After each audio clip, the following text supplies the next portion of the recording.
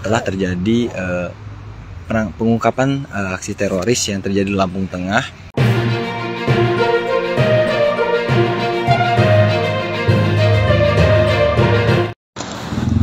Halo, selamat malam Tribuners. Kembali lagi bersama saya, reporter Tribun Lampung melaporkan dari Rumah Sakit Bayangkara Bandar Lampung dan saat ini uh, suasana di Rumah Sakit Bandar Lampung terpantau uh, normal dan terlihat ada beberapa petugas kepolisian dan juga ada uh, sejumlah orang yang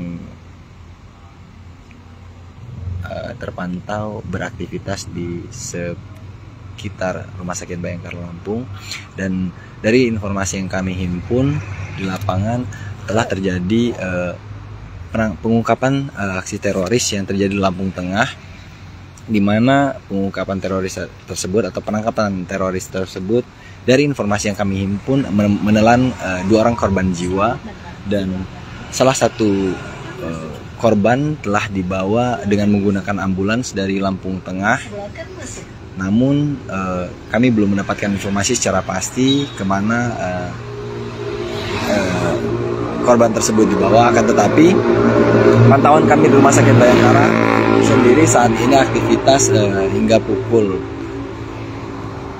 23.23 ini tampak aktivitas dari rumah sakit uh, masih terdapat sejumlah petugas kepolisian ada beberapa provos yang berjaga dan juga ada aktivitas uh, lalu lalang kendaraan dan juga petugas yang keluar masuk rumah sakit Bayangkara Lampung. Namun sejauh ini dari hasil uh, galian kami di lapangan belum ada pihak yang bisa memberikan keterangan terkait kebenaran bahwa ada jenazah teroris yang dibawa ke rumah sakit Bayangkara Bandar Lampung. Hingga saat ini kami masih berusaha mencari kepastian terkait info tersebut.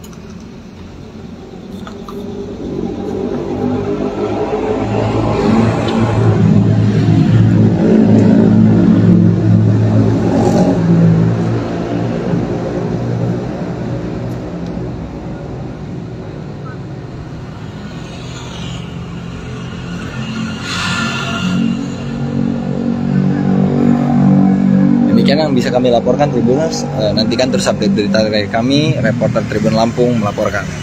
Terima kasih sudah nonton. Jangan lupa like, subscribe, dan share ya.